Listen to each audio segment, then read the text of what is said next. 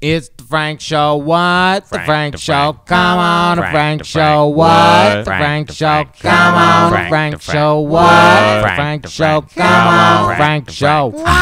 It's time for the show.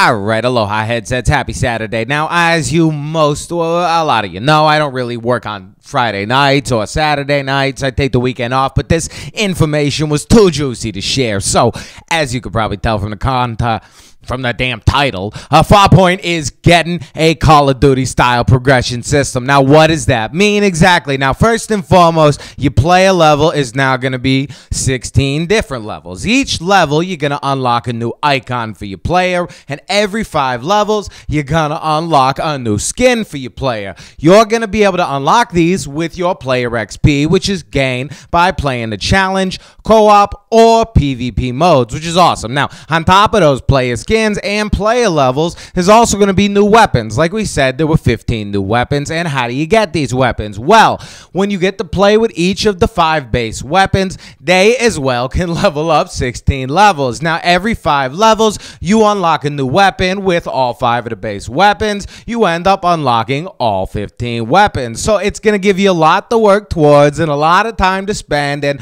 no matter where you're playing, like I said, co op challenge PvP, you are going to be able to uh, gain player and weapon XP, which is awesome. And you're going to get different bonuses for different, different modes, which is nice. Now, a little bit more information about the PvP mode. There's going to be two different styles, and it's going to be the best of three rounds, which is really cool. And each round is going to be played in a different area with three new maps, with three areas in each map. So there's going to be a total of nine new areas that you're going to have to learn to be the king of PvP. So I am excited. You know what I mean? They're giving us what we've wanted a PvP shooter with tons of content and tons of stuff to work towards. And I, for one, cannot wait to get a release date. Now, all this information is brand new. I mean, honestly, none of the major articles are talking about this, and I don't know why, because it is amazing news for us PlayStation VR and aim controller owners, and specifically Farpoint owners, because this is free. Like everything else they've given us so far, eh, this is free. And if you got the game with the aim controller, you paid 20 bucks for the game, really.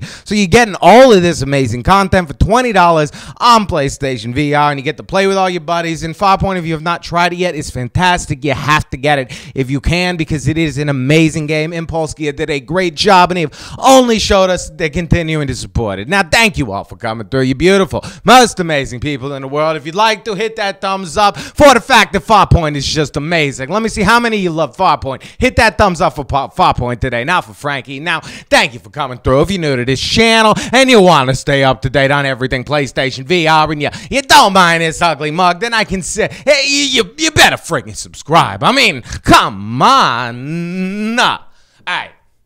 Smooches. Yeah. Ha. Have a great weekend.